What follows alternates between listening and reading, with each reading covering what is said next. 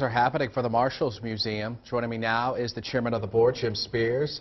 Thanks for making the drive up here from the River Valley to tell us about the museum. So let's talk a little bit about it. We actually have some pictures to show too. Okay, good. Yes, uh, this uh, next uh, Saturday, November the 9th, uh, we're having a dedication of our cornerstone for our Hall of Honor for the uh, Marshals Museum. The Hall of Honor will honor those uh, marshals who have been killed in the line of duty during the 200 plus year history of the United States Marshal Service, which is the first uh, federal uh, law enforcement agency ever created.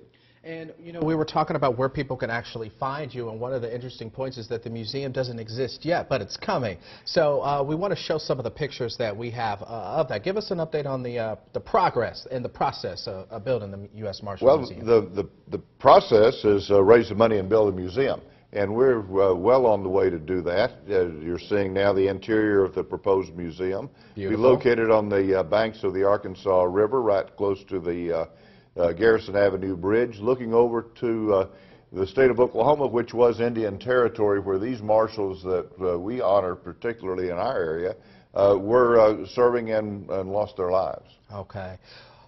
This event is open to the public. I know that when they attend next week's event, there's going to be a who's who of people attending. There is going to be a who's who of people attending, and it is uh, very much open to the public, and everyone is invited to uh, to attend the uh, the uh, uh ceremony, which will start at 11 o'clock at the uh, side of the museum, which, as I said, is adjacent to the Garrison Avenue Bridge in Fort Smith overlooking the Arkansas River.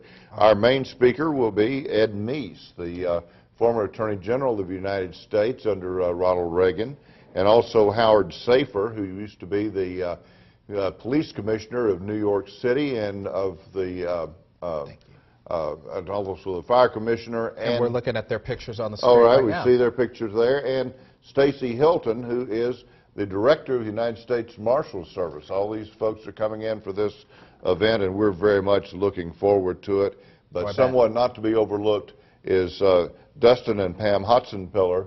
Uh, their uh, um, son and brother, Derek, was killed in the line of duty serving the United States Marshal Service in 2011. So he will be honored uh, uh, along with all these other heroes that we have are honoring uh, in our Hall of Honor. All right, awesome. And again, it's next week at 11 o'clock. Next right. week, 11 o'clock in Fort Smith. All right. Thanks for joining us here. We'll be right back, folks.